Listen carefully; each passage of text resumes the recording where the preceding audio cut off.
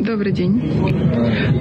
Здравствуй, Ингрид. Как всегда, я очень тебя рад видеть. И с удовольствием с тобой пообщаемся перед моим днем рождения. Да, ты торжественно завтра приглашена. Вся забота завтра о средствах массовой информации и так далее будет ложиться в ваш департамент средств массовой информации. Спасибо, э, для меня большая честь. Александр, расскажите, пожалуйста, о вашем детстве, как все начиналось? Все дело в том, что я общественной деятельностью занимаюсь с 89 года. После того, как я попал на Ближний Восток, конкретно в Израиль и в других странах Ближнего Востока, где я служил, работал и так далее, то же самое общественными делами занялся.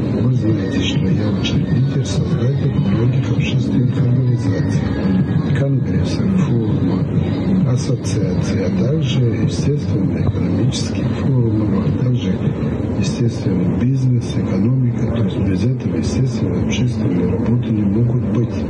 Везде нужны деньги. Вы знаете, что я возглавляю на пост Восточной Европы, в СНГ, в Российской Федерации, от экономического центра мира Шалом, который сейчас проводит успешно на Ближнем Востоке сближение арабо-израильского мира, всех этих конфликтов, знаете, что я являюсь спецпредставителем экономического центра мира по урегулированию конфликтов в разных странах, где, к сожалению, не происходят. На данный момент вы были свидетелем, когда меня назначили по урегулированию Нагорно-Карабахского конфликта. А также есть у нас Global который э, неделю назад назначили меня тоже в СНГ,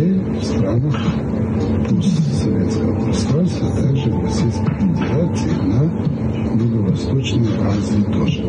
Что это за фонды, что это за организации, вы прекрасно знаете, вы каждый день, спасибо вам, общаетесь с нашими иностранными друзьями, партнерами.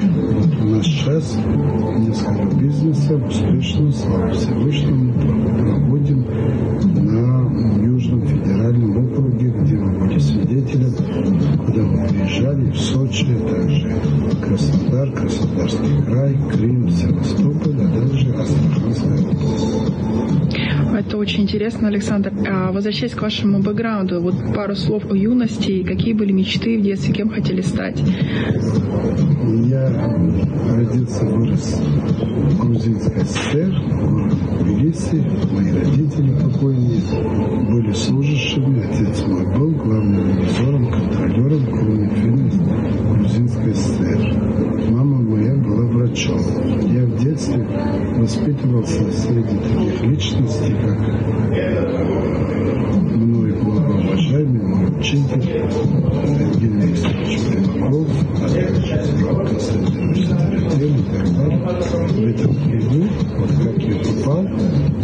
в Российскую Федерацию с 1984 года, в многих вузах Советского Союза, в том числе и в ГИМО, МГУ, где я закончил, а также в Саратов, в Саратове я закончил Академию юридическую, и также в Израиле я защитил психологию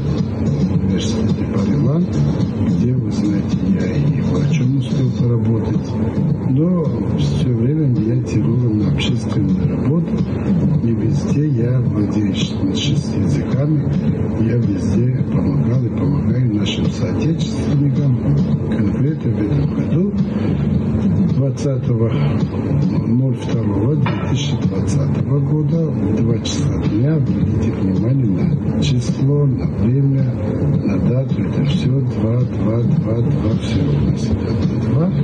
Мы в городе Санкт-Петербурге учредили, создали, создали, куда вы тоже приезжали вместе с Сергеем Викторовичем Дворяновым, Федерацию соотечественников, проживающих за рубежом, за рубежом, друзья Израиля. Там же мы приняли решение в сентябре месяце создать Агентство народов мира. В сентябре в связи с пандемией, что было закрыто Российская Федерация, в частности Южный федеральный округ, приняли решение перенести его на ноябрь месяц, где мы с вами, с вашей помощью, с вашей академией дипломатической успешно провели съезд форум, где вы были свидетелями и участвовали 21 народность из 12 стран мира, остальные 70 стран, где наш альянс успешно представлен, все были на Zoom-конференц-связи, кто через видео, кто э, посредством скайп-связи выступили, поздравили, поддержали наш альянс. Да, это было очень э, эффективно и интересно. А еще э, расскажите, пожалуйста, более подробно о первом съезде народов э, Альянса а вот в Сочи. Тут успешный форум ЛО, где прибыло очень много гостей из-за рубежа. И известно, что смогла даже приехать Лариса Штадлер из Израиля. Сложно ли было подготовить этот форум? Какие были трудности в связи с пандемией, с ограничениями? Моя легендарная личность, мной уважаемая, перед ней я преклоняю голову. Лариса Стадлер, вы встречали ее, она приехала через три страны. Из Тель-Авива прилетела в Стамбул, из Стамбула в Москву, из Москвы в Сочи, привезла большое э, количество приветствий Альянсу, привезла очень много коллективов из Бурятии, других странах. Вы видели все эти национальные костюмы, которых она возглавила, все, все эти диаспоры, все эти кружки народные и так далее. Лариса Стадлер э, у нас является как главой Координационного совета, также президентом Альянса народов мира по созданию, учреждению нашего альянса.